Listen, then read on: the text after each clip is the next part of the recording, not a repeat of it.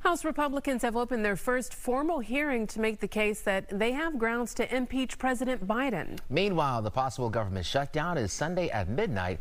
As Fox's Caroline Shively tells us, Democrats are using the impending fiscal disaster to question Republicans' priorities. This is complete and total hypocrisy this morning.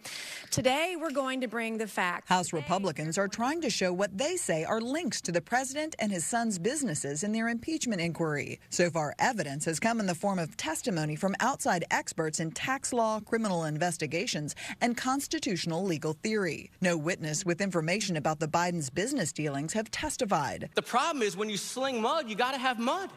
And they just don't have anything, Mr. Chairman. One of the many questions raised Thursday is if a benefit to the Biden family is a benefit to the president himself, therefore constituting a bribe. Money going to family members is, in fact, a benefit. But this idea that you can have millions going to a politician's family and that's not a benefit, um, I think is pretty fallacious. Democrats who say the investigation is a political ploy are using the impending government shutdown to make a political point of their own with a countdown clock they brought. All right, so so let's get it straight. We're 62 hours away from shutting down the government of the United States of America, and Republicans are launching an impeachment drive based on a long debunked and discredited lie. And even though he wasn't in the hearing, House Speaker Kevin McCarthy was aware of that ticking clock, too. I don't think anybody's stronger. I don't think the country's better if you have a shutdown.